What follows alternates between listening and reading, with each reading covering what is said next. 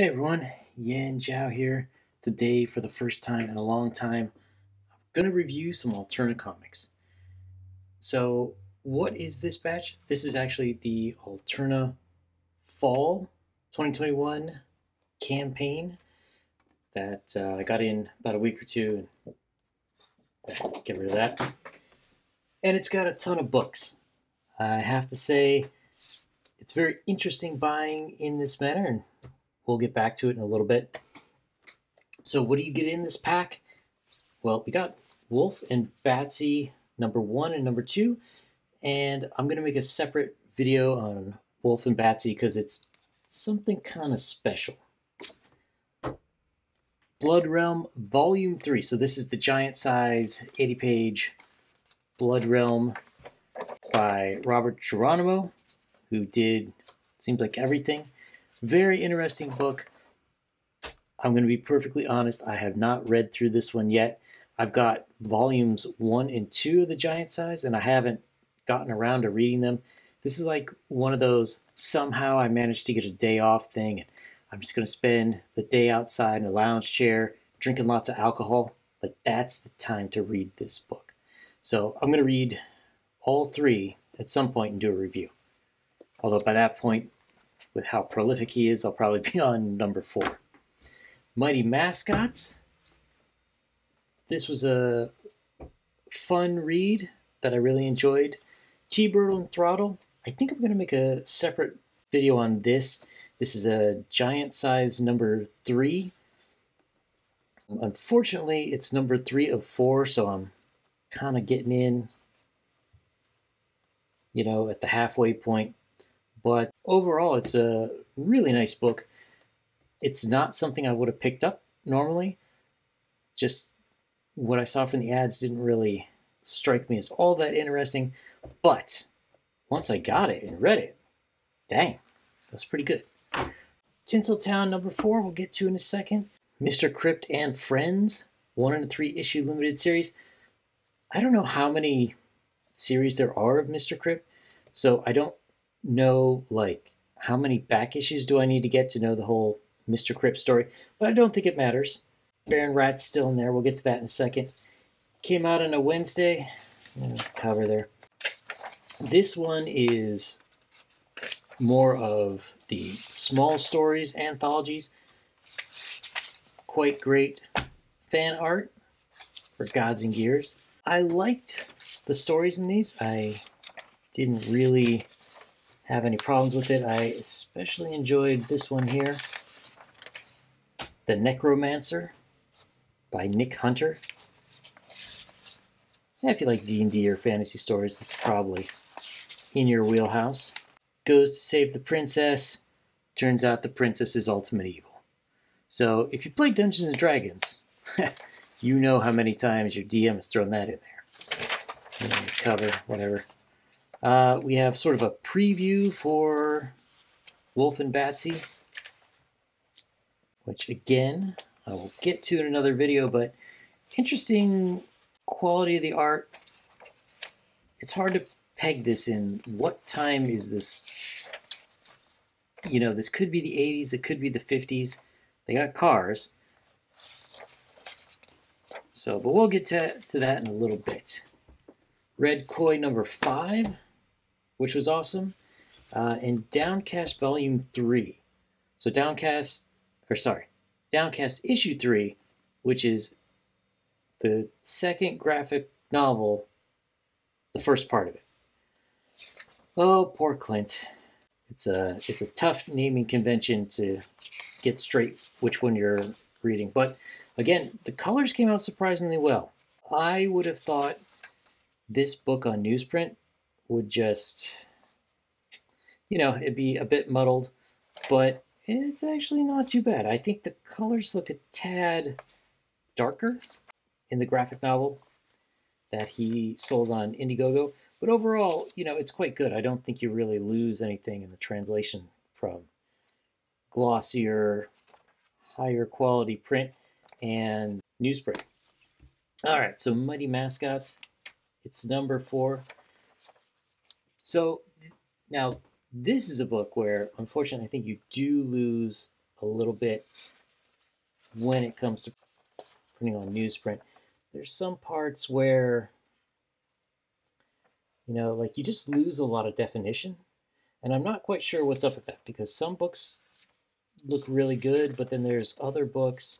And I think part of it too is in certain places there's no black outlines.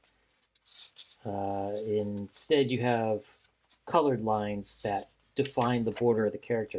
And that can end up a little bit messy, like, you know, the face here and here. It's just not coming out as good as it could, but like right here looks really cool. So why does this shadow, which must be, you know, I can see lines through it, so it's clearly overlaid. Why does that come out so good and other things not so great? Also, stuff like here, it would have, I'm sure it would have looked better on a higher quality paper because there'd be more contrast. The black would be blacker.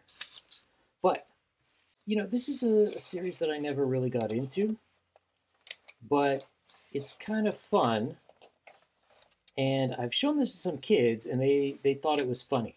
Uh, I think one of the big things that it has going for it is it's a little bit more manga style. If this was more realistic, it wouldn't wouldn't work nearly as well. And uh, it's got a great premise. You know, what if all those serial characters from the 80s showed up in real life? And so we've got an evil scientist who's bringing these characters into life here.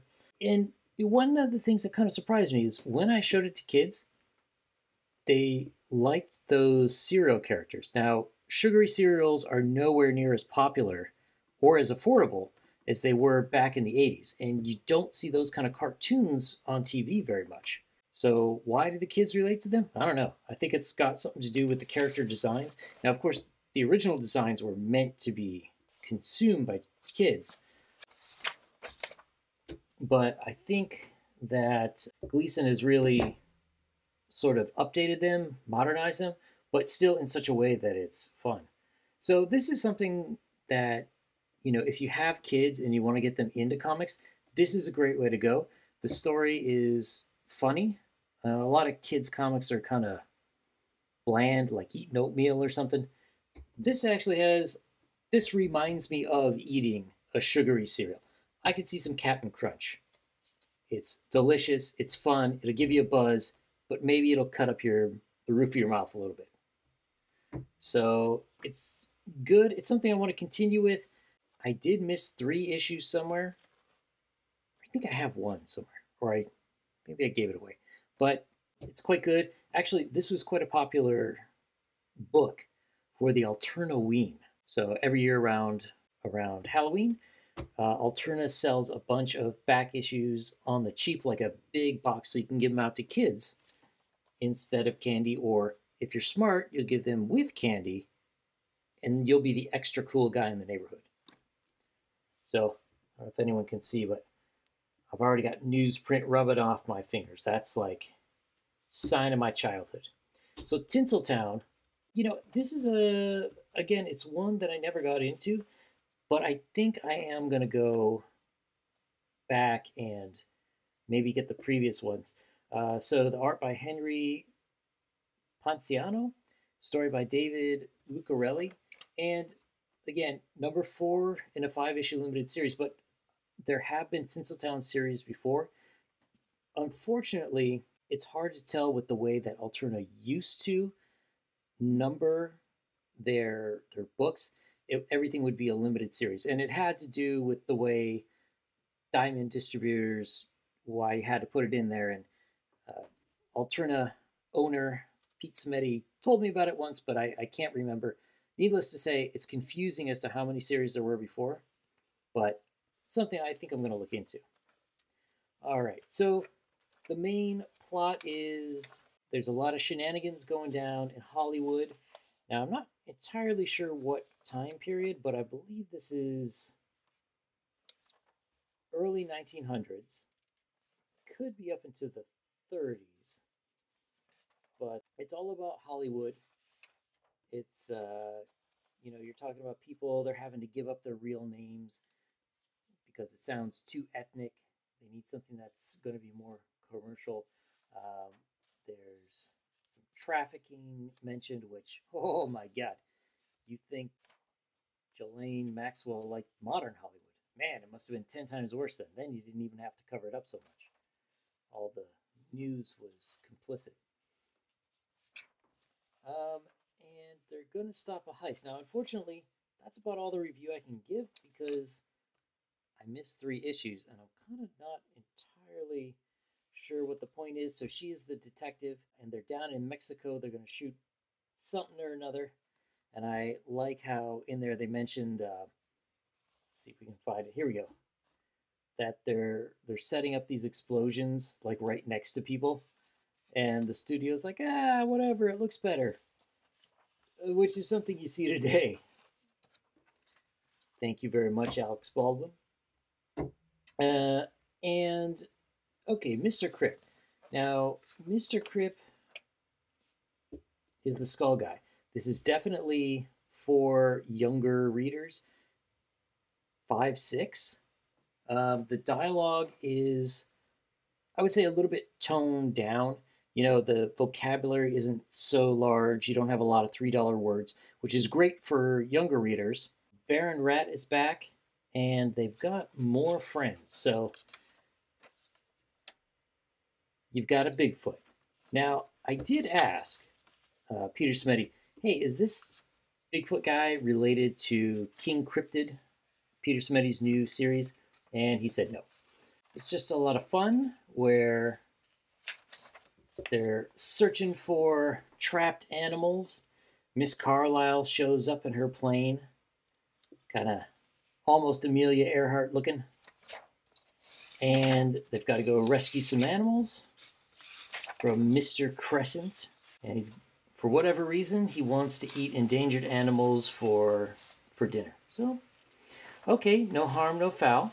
In the end, we see some good things. But one thing I liked, which I thought was hilarious for a children's book, is you know they say goodbye, but elsewhere, dun dun dun, the villain returns from out of the ground. So one interesting thing about buying in this way you know, it used to be you would go to the comic book store and you would get one book, right? And you would sort of flip through and you would see what you like and you would buy something. Now, there's an interesting thing to buying a publisher's entire line. In some ways, it's like Peter Simeti is now curating comics for you. So Wulf and Batsy, it was originally started, I think, yeah, 1999 to 2000. So this is already, some of this stuff is already 20 years old. In fact, I think these two issues are.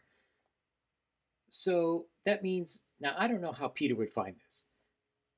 Like, when I go to comic shops, God help them if they put something that's not Marvel, DC, or Image on a shelf.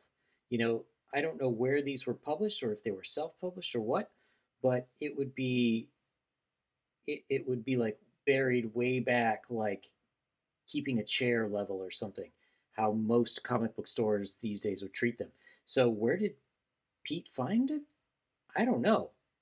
And this is kind of the interesting thing because pete's sort of a one-man show with determining what gets published. He is a curator. In a lot of ways it reminds me of how radio djs were back in the day.